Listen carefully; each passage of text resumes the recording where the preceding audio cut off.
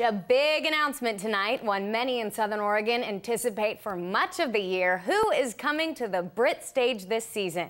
NBC5's Roma Villavicencio is live on the Britt Hill right now. Roma, do we know who's coming to Britt this summer?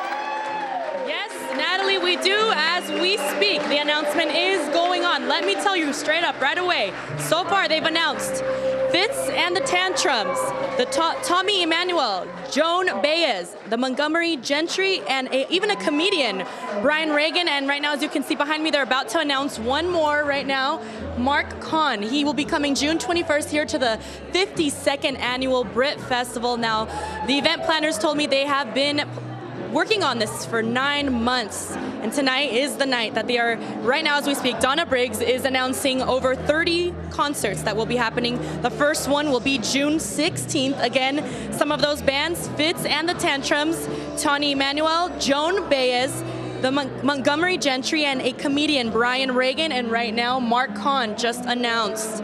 Now, the lineup will be posted online tonight at 7 p.m. This should go on for another half an hour as Donna Briggs will continue to read off those names of the bands and artists that will be coming. And so we will have more for you in a little bit, so stay with us live here in Jacksonville on the stage at the Britt. Roma Villavicencio, NBC5 News. Roma, thanks, Joan Baez. Very nice. Well, a reminder tonight, Britt is scaling back the tradition of bringing your own booze to shows this year.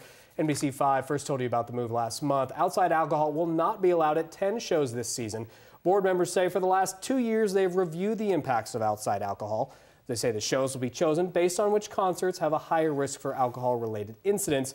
Now, you can still buy beer and alcohol at the venue, which board members say also helps the nonprofit's bottom line.